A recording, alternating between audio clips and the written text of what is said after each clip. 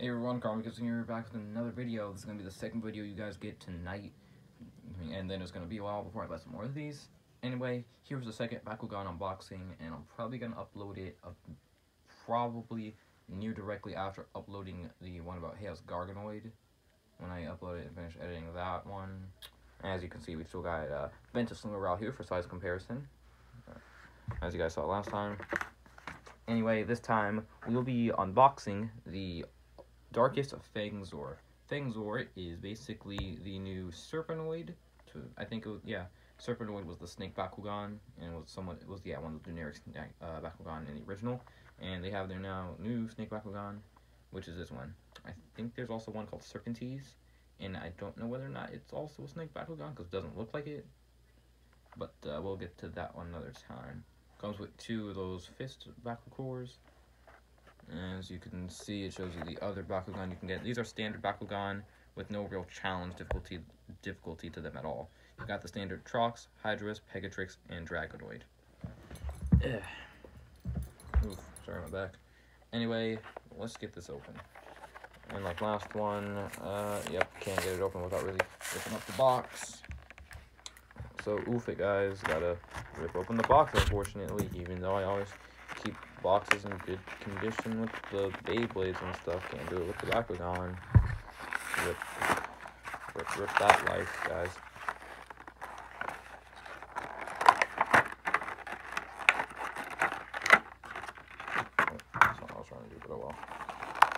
Oh, I. Oh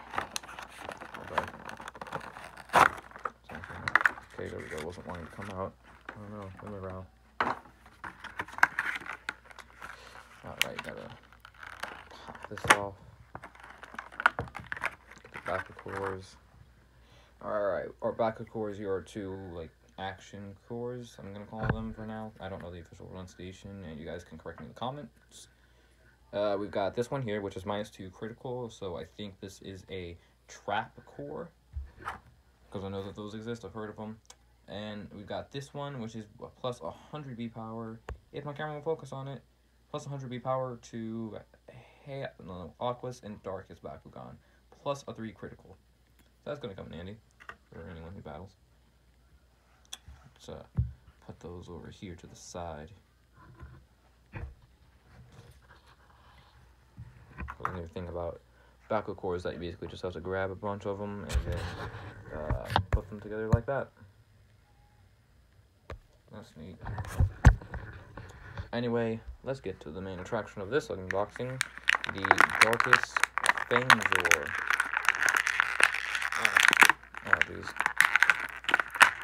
Oh, there we go. And there's a reason this one has, like, no challenge level to it at all. Because it is really easy to fold.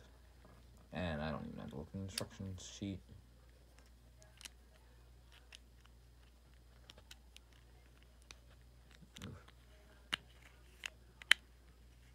Bam. There you go. Darkus Fangzor. Looks really nice too. It's pretty light and like it's made to look nice, but it isn't going to uh yeah, it's big. So let's get ready to brawl.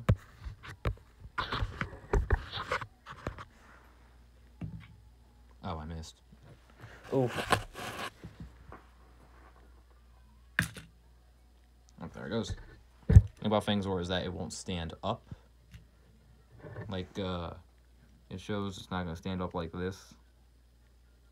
It will just lay flat like this. There we go. Anyway, Fangzor comes with a total of 400 B power. Because like the original Bakugan, it will have the stats on it somewhere on top of it. I really do like the design, especially like the snake eyes on the inside. I, I like the attention to detail because if you look close enough at its eye, if my camera will focus, they actually put a bit of an indent right there in the marking. Well, not a marking, but they put a bit of an indent to signify it's like a snake eye. So I like that amount of detail. These are just looking really nice.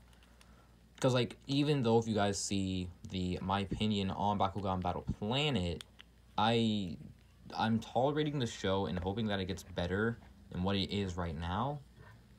but the products that they're making are absolutely excellent.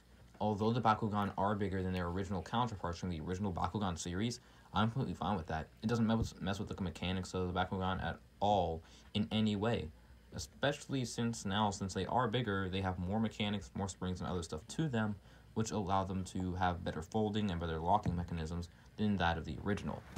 Because that was one of the things about the original is that sometimes the mechanisms and stuff which keep them in place would get rusty over time or just wear down over time and would eventually just sort of stop working and not work as well.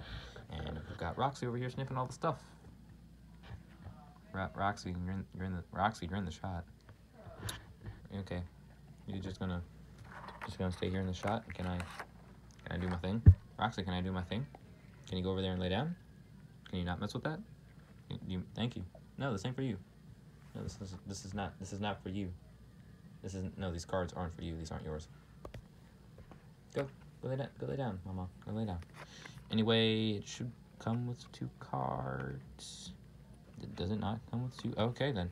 I guess the it's only the ultra ones that come with two cards because I know that there are random boosters you can get for this. Anyway, here we is the Darkus Fangzor, and I really do like the design of Fangzor. It looks really cool in anime. And if I'm right, Darkus have like this shadow step or shadow ability that they can use. I forgot how it works, but Darkus Fangzor, 400 B power and 3 critical. Not bad. Oh, also, if you want me, if you want me to comment on how I feel about the new faction symbols, uh, to me they're okay. They're not the best. I kind of prefer the old ones. There's a lot of stuff when it comes to design that I prefer the old one over, but it's still okay looking. I and I do really like the design for Fangzor, like when it's like in anime and stuff in monster form when it brawls. Anyway, that's kind of pretty much it for Fangzor. So let me fold up Chaos Garganoid again and put those two together and look at the size comparison. Mm. Still, bravo to all other people who know how to fold this stuff just easily. I'm still trying to get the hang of it.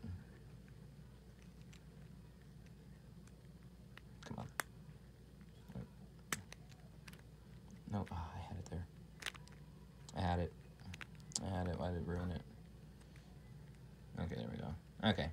It's like once you at least once you get the hang of it, you know what to do, and you get better at it.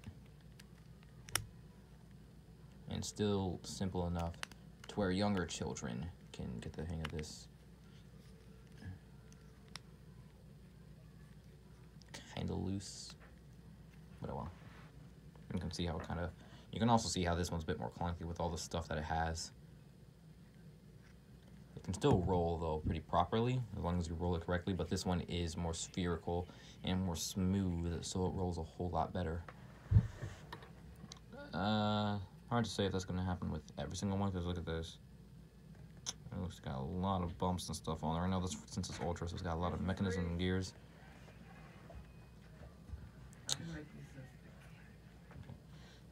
Anyway, that's pretty much it for this review, guys, of Darkus Fangzor. If you guys saw the Garganoid, look at that flip.